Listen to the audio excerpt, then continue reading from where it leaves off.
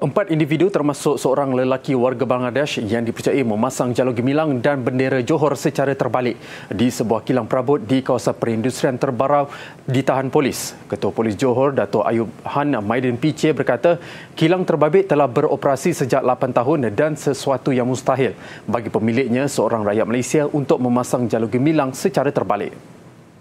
Bertindak atas maklumat ini, sepasukan polis daripada Balai Polis Bandar Tun On, Dato' On telah membuat pemeriksaan di kilang tersebut dan mendapati bendera negeri Johor dan jalur gemilang telah dipasang secara terbalik. Pihak polis telah menahan empat suspek iaitu satu lelaki Cina, dua perempuan Cina dan seorang lelaki warga Bangladesh. Semua suspek Mereka yang ditahan ialah pengurus kilang, pegawai sumber manusia, kerani logistik dan individu warga Bangladesh berusia 23 hingga 56 tahun.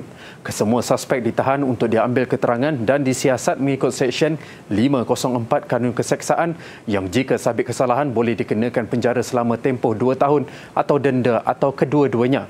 Selain turut disiasat mengikut Seksyen 14 Akta Kesalahan Kecil 1955 yang jika disabitkan kesalahan boleh dikenakan denda tidak melebihi RM100.